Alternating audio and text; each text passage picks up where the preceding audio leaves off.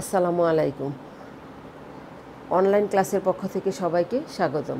আমি নাসিম আক্তার, সহকারী শিক্ষিকা, মাধবদী এসপি ইনস্টিটিউশন, মাধবদী নরসিংদী।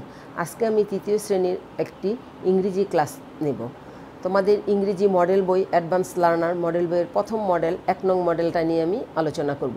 আর তোমরা জানো, মডেলটা দুইটা পার্টে বিভক্ত থাকে। প্রথম পার্ট ওয়ানে থাকে সিন পেসেস, যেটা আমাদের ইংলিশ ফর টুডে।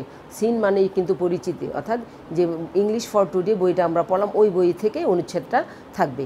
এরকম একটা অনুচ্ছেদ নিয়ে আমি আলোচনা করব। প্রথম অনুচ্ছেদটাতে আছে, তোমাদের বয়সী একজন মেয়ে, তার পরিচয় দিচ্ছে রিয়া ইসলাম। অর্থাৎ hello I am Riya Islam. ও হে আমি হই Riya Islam. I am eight years old অর্থাৎ, আমার বয়স আট বছর। আই এম এ স্টুডেন্ট আমি একজন ছাত্রী। I am in class three at Rajbari primary school আমি রাজবাড়ি প্রাইমারি স্কুলে তৃতীয় শ্রেণীতে পড়ি। অর্থাৎ এখানে রিয়া ইসলাম তার পরিচয় দিল যে তার বয়স কত, তার নাম কি, সে কোন ক্লাসে পড়ে, কোন স্কুলে পড়ে। সে কি প্রাইমারি স্কুলে পড়ে না মাধ্যমিক স্কুলে পড়ে? এটা। আর তোমরা প্রত্যেকই প্যাসেজটা খুব যত্ন সহকারে এবং মনোযোগ সহকারে তোমাদেরকে অর্থ সহ জানতে হবে। অর্থ না জানলে তোমরা আনসার করতে পারবা না। আর আমাদের পার্ট ওয়ানের মানে সিন প্যাসেজ থেকে থাকে এক নম্বরে তোমরা জানো অর্থাৎ হয় থাকবে ম্যাচ কলাম যেটা তোমরা বাংলায় কলাম মানে ডান বাম বলতে পারো, যেমন তোমাদের সমাজ বা বাংলা, বিজ্ঞান ওইসব বইয়ে তোমরা এগুলো, এটার সাথে পরিচিত। এই ম্যাচ কলামটা ইংরেজিতে ম্যাচ কলাম, অর্থাৎ কলাম এর সাথে কলাম বি এর সেন্টেন্সগুলোকে মিলাতে হবে।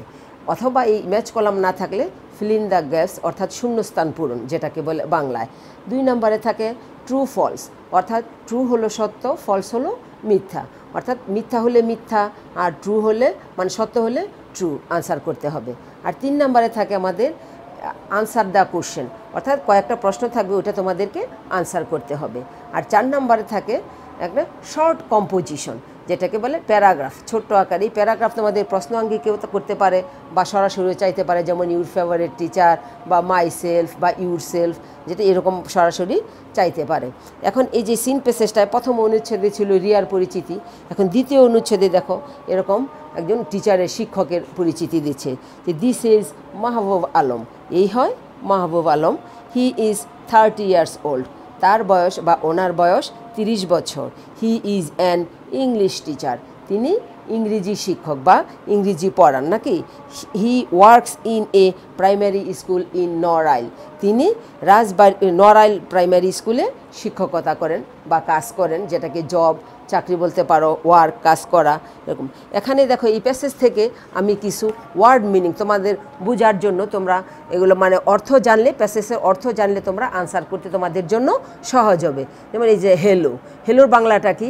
এই যে বা ওহে যে যেমন কেউ কারোর সাথে রাস্তায় হতে পারে বা পথে ঘাটে দেখা হলে যদি আমরা তার নাম না জানি, তখন তাকে হেলো বা ওহে বলে সম্বোধন করি যে হেলো এই যে প্রাইমারি, প্রাথমিক, ওল্ড, বয়স, টিচার, শিক্ষক, ওয়ার্ক, কাজ করা, স্টুডেন্ট, ছাত্র বা ছাত্রী, ক্লাস, শ্রেণি, প্লেস, স্থান, অর্থাৎ জায়গার নাম বুঝাইছি, পিপল, লোকজন, লার্ন জানা বা শিখা ইনস্টিটিউশন প্রতিষ্ঠান।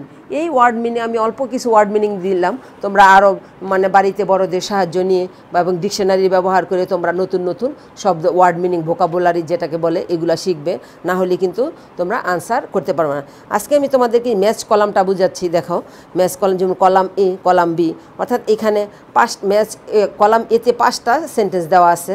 এক নম্বরে teacher student school primary work আর কলাম বিতে আবার এই এই যে teacher student school primary work এইগুলোর সাথে মিল রাখা। অর্থাৎ একই অর্থ একই বোঝায়। কিন্তু সেন্টেন্সটা হয়তো আলাদা, কিন্তু অর্থ হয় কি এরকম অর্থ খুঁজে যেটাকে বাংলায় বলে সমার্থক শব্দ।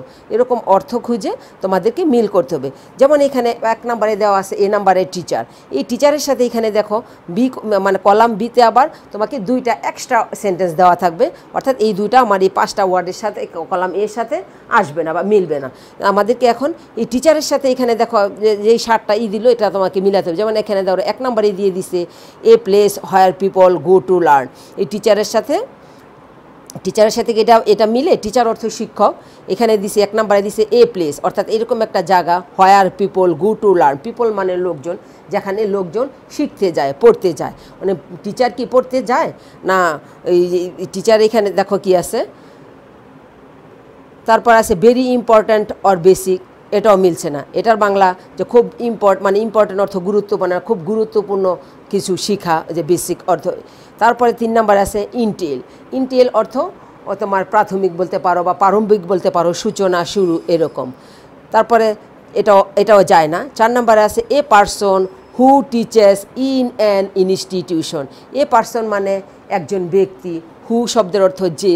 অর্থাৎ এ পার্সন টিচার্স এমন একজন ব্যক্তি টিচার্স অর্থ মানে শিখায় বা শিখে ইন অ্যান ইনস্টিটিউশন অর্থাৎ এমন একজন ব্যক্তি যে প্রতিষ্ঠানে শিখায় বা পড়ায়। তাইলে এই টিচারের সাথে কোনটা মিলবে? Four number a person who teaches in an institution তারপরে দুই বি নাম্বার আছে স্টুডেন্ট স্টুডেন্ট অর্থ ছাত্র বা ছাত্রী। তাহলে এই যে টিচার তো চলে গেলো যে শিখায় তাহলে স্টুডেন্ট তো অর্থ হচ্ছে ছাত্রছাত্রী। ছাত্রছাত্রীরা কী করে? তাহলে ছাত্রছাত্রী এরকম একটা সেন্টেন্স এর সাথে মিলবে। দেখো দিদাও আছে last a person who reads in an institution পড়া তাহলে এ পারসন একজন ব্যক্তি হু যে পড়া তাহলে যে পড়ে ইন অ্যান ইনস্টিটিউশন অর্থাৎ প্রতিষ্ঠানে। তাহলে এই স্টুডেন্টের সাথে আমাদের কি, কোনটা মিলবে? যে স্টুডেন্টের সাথে মিলবে a person who reads in an institution তারপর আছে সি নাম্বারে স্কুল স্কুল অর্থ বিদ্যালয়। অর্থাৎ প্রতিষ্ঠান বলতে পারো। তাহলে এই প্রতিষ্ঠানের সাথে আমাদের কী মিলে? এই যে এক নম্বরের ছিল প্রথম, যে a place where people go to learn, অর্থাৎ এরকম একটা জায়গা বা এরকম একটা স্থান, হায়ার অর্থ যেখানে পিপল অর্থ লোকজন, যেখানে গো, গু টু অর্থ, গো অর্থ যাওয়া, লার্ন অর্থ শেখা বা জানতা।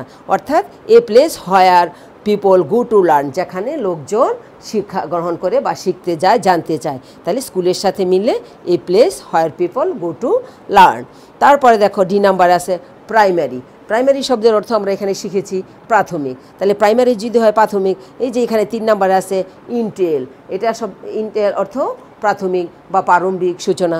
তাহলে এই প্রাইমারির সাথে মিলে ইনটেল তারপর ওয়ার্ক ওয়ার্ক অর্থ কাজ করা। তাহলে তুমি মানে কাজ করে কে? যে যে কোনো প্রতিষ্ঠানে করতে পারে, কোনো খোলা জায়গায় করতে পারে, কেউ ক্ষেত মজুরি করতে পারে, যে যে জীবিকা নির্বাহ করে বা কাজ করে, জীবিকা নির্বাহ করে এরকমই। এখানে দেখো কি দেখা যাচ্ছে, যেমন এখানে আরেকটা অপশন রয়ে গেছে, যেমন a person who sells product. তাহলে এ পার্সন একজন ব্যক্তি এমন একজন ব্যক্তি হু যে মানে সেলস অর্থ কি? বিক্রি করা, প্রোডাক্ট অর্থ উৎপন্ন, তাহলে যে উৎপন্ন মানে প্রোডাক্ট বিক্রি করে, এটাকে কি ওয়ার্কের সাথে আসে? না to do things as a part of job অর্থাৎ জীবনের একটা অংশ বা জীবিকা নির্বাহ করতে গিয়ে এই যে ওয়ার্কের কাজ করা মিলে। তোমরা বাড়িতে এই মানে সিন প্যাসেজে যে থাকে, এক নম্বর আমি তোমাদেরকে প্রথমেই বুঝিয়েছি, এই সিন প্যাসেজ থেকে আমাদের এক নম্বরে আনসার করতে হবে, হয় ম্যাচ কলাম অথবা থাকতে পারে ফিলিন দ্য ব্ল্যাঙ্কস যেটাকে শূন্যস্থান পূরণ। তোমাদেরকে সেন্টেন্স দিয়ে দিবে, একটা অক্ষর ফাঁকা রাখবে, তোমাদেরকে ওই ফাঁকা জায়গায় ফিলিং দ্য মানে শূন্যস্থান পূরণ করতে হবে। আর দুই নম্বরে থাকবে এই সিন প্যাসেজ থেকে এই ট্রু ফলস যেমন এখানে আমরা সিন প্যাসেজটায় পড়ছি Riya is eight years old এখন ট্রু ফলসের মধ্যে দিয়ে দিল আমাকে তোমাদেরকে যে Riya is ten years old সব সেন্টেন্সটা কি ট্রু হবে? না ফলস হবে? কারণ আমরা পেসেসে পড়ছি, Riya is eight years old আর প্রশ্নতে আছে, Riya is ten years old তাহলে এই ক্ষেত্রে কী অ্যান্সার আসবে? ফলস কারণ আমরা জানি, Riya is eight years old তারপরে ধরো পেসেসে দিয়ে দিল, রিয়া ইজ এ স্টুডেন্ট ঠিক আছে, যদি রিয়া ইজ এ স্টুডেন্ট তাহলে রিয়া আমরা পেসেসে পড়ছি, রিয়া ইজ এ স্টুডেন্ট আর যদি এখানে থাকতো যে রিয়া ইজ এ টিচার ওই ক্ষেত্রে কী আসতো? আনসারটা ফলস আসতো। তাহলে Riya is a student true এরকম এইভাবে তোমরা নিজেরা বানা, বাড়িতে বড়দের মা আছে, বড় ভাই বোন আছে, ওদের সাহায্য নিয়ে এখন এই করোনার জন্য স্কুল বন্ধ, স্কুলে আসা মানে আসতে পারছ না, আমরা ক্লাস নিতে পারছি না। যার জন্য অনলাইনে আমরা ক্লাস নেওয়ার সিদ্ধান্ত নিয়েছি বা অনলাইনে ক্লাস করার জন্য তোমাদেরকে শেখানোর জন্য চেষ্টা করছি। তোমরা বাড়িতে বড়দের মানে মা, বাবা বা ভাই বোন ওদের সাহায্য নিয়ে বাড়িতে এরকম মানে প্রশ্ন বানায় তোমরা এগুলো নিজেরা তৈরি করবা। তিন নম্বরে থাকে আনসার দ্য কোশ্চেন এখানে থাকতে পারে হোয়াট ইজ রিয়া বা হাউ ওল্ড ইজ রিয়া তারপরে মাহবুল, মাহবুব আলম নিয়ে যেমন যে হোয়াট ডাজ হি টিচ তিনি কি পড়ান? বা what is mister Mahbub Alam? এরকম তোমরা প্রশ্ন মানে এখন ধরো টু ফলসের মধ্যে আমি দিলাম যে Mahbub Alam is a doctor আনসারটা কি ট্রু হবে না ফলস হবে? কারণ আমরা পেসেসে যে পড়েছি, Mahbub Alam is a teacher তাহলে এভাবে তোমরা প্রশ্ন তৈরি করে বাড়িতে শেখার চেষ্টা করবে। আর চার নম্বরে যেটা থাকে, বলছিলাম যেখানে শর্ট কম্পোজিশন অর্থাৎ সংক্ষিপ্ত আকারে একটা ছোট্ট প্যারাগ্রাফ এখানে তোমাদের থাকতে পারে write a short composition on your favourite teacher তুমি তোমার টিচার সম্পর্কে লিখবা, এখন তোমার ফেভারিট টিচার যে কোনো টিচারের নাম দিতে পারো। এখানে মাহবুব আলম আছে। মাহবুব আলম না দিয়ে তুমি দিতে পারো মিস্টার রাজীব বা মিস্টার এক্স ওয়াই জেড, যে কারও নাম দিলা বা কোনো ম্যাডামের নাম দিলা। এরকম কোনো যদি ম্যাডাম হয় তাহলে ম্যাডামের নাম দেবা, আর যদি পুরুষ টিচার হয় তাহলে পুরুষ টিচারের নাম দেবা, ওরকম টিচারের নাম দিবা মানে কোন টিচার যে মাই ফেভারিট টিচার ইজ এমন এক্স বা ওয়াই জেড যা হয় দিবা।